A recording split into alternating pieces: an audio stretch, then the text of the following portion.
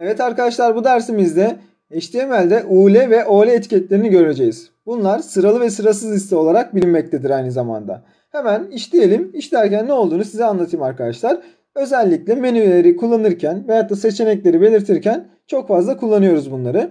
Hemen geliyorum. Önce sırasız liste dediğimiz UL etiketini oluşturuyorum. Daha sonra içerisine de liste item dediğimiz alt etiketini oluşturuyorum arkadaşlar. Daha sonra buna geliyorum. Kahve diyorum. Aynı şekilde altına geliyorum. Bir tane daha liste item oluşturuyorum. Buna çay diyorum.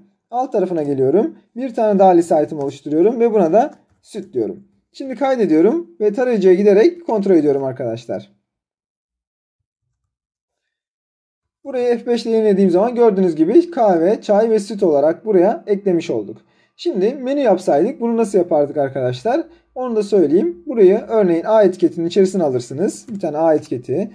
Herhangi bir yere gitmesin. DS koyalım. A etiketinin içerisine bu şekilde kahve yazdığınız zaman arkadaşlar hemen sayfayı yenilediğim zaman gördüğünüz gibi bu şekilde menümüzü de oluşturabiliyoruz. Şimdi gelelim şurada size ekstradan bir şey öğreteyim. Bu da arkadaşlar stil attribütü. Normalde bunu CSS'de işlememiz gerekiyor ama yine de lazım olacağı için bazı yerlerde kullanalım. Stil attribütü arkadaşlar CSS kodlarını HTML'in içerisinde yazmamıza yarar. Hemen geliyorum burada bir tane list stil type tanımlaması yapıyorum.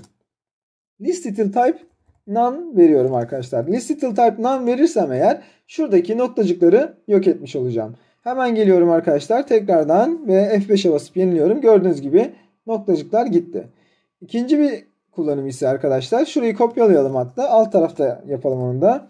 List stil type none yerine disk veriyorum. Daha sonra pardon yanlış yere yazdım. Şuraya daha sonra arkadaşlar bunu da kopyalayalım. Alt tarafına bir daha yapıştıralım. Buraya da arkadaşlar circle. Daha sonra bir tane daha vardı. Kare. Onu da ekleyelim arkadaşlar. Aynısını kopyaladım yapıştırıyorum buraya.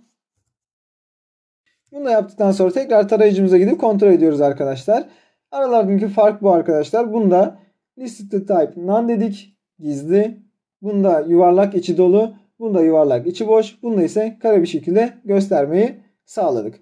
Evet arkadaşlar bu sırasız liste olarak dediğimiz etiketlerimiz. Bunda dediğim gibi özellikle menüyü vesaire belirtirken bu etiketi kullanıyoruz.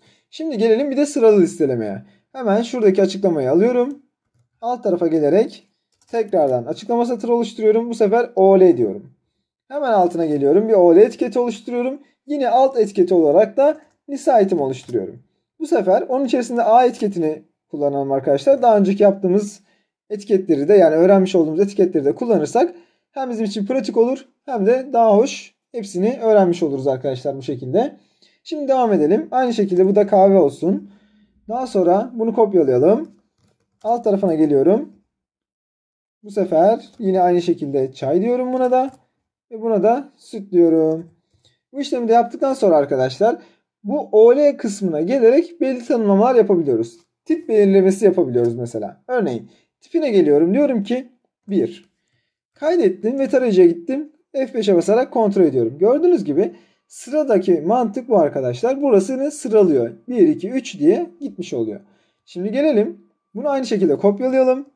Ve aşağıya doğru tekrardan yapıştıralım. Bu sefer örneğin büyük A harfini verelim. Hatta kopyalayalım. Bir de küçük A harfini verelim. Tekrardan hemen kaydedip tarayıcımıza giderek kontrol ediyoruz arkadaşlar. Gördüğünüz gibi ABC veyahut da küçük harfle ABC. Hatta Roma rakamları bile yazabiliyorsunuz arkadaşlar buna. Geliyorum, kopyaladım, alt tarafa geliyorum, yapıştırıyorum. Örneğin hemen buraya büyük I yazıyorum arkadaşlar. Ondan sonra tekrardan kaydediyorum ve buraya gelip yenilediğim zaman gördüğünüz gibi bu şekilde 1, 2, 3 olarak da tanımlamalar yapabiliyoruz. Bir de arkadaşlar bir şey daha var. Örneğin buradaki A, B, C ya da 1, 2, 3 bunun kaçtan başlayacağını da belirtebiliyorsunuz. Örneğin gelelim buraya. Rakamla nerede başladık? Burada. Type 1 dedik. Bunu arkadaşlar start diye bir attribute daha tanımlayıp eşittir. Tırnak içerisinde örneğin 5 diyorum. Yani 5'ten başla diyebiliyorum. Hemen yenileyelim tekrardan tarayıcımızı arkadaşlar. 5, 6, 7 olmuş oldu. ABC için de aynı şekilde kullanabilirsiniz. Bir problem yok. Hemen geliyorum buraya. Start diye bir tanımlama yapıyorum. Ve bu sefer de buraya aynı şekilde 5 diyelim. Hemen yeniliyoruz arkadaşlar. Gördüğünüz gibi EFG olmuş oldu. Evet arkadaşlar OL ve UL etiketleri bu şekilde kullanılıyor. Daha sonraki derslerimizde bunları detaylı bir şekilde öğreneceğiz. Ama şimdilik bu kadar öğrenmemiz kafi. Evet arkadaşlar bu dersimizde öğreneceklerimiz bu kadardı. Bir sonraki dersimizde görüşmek üzere.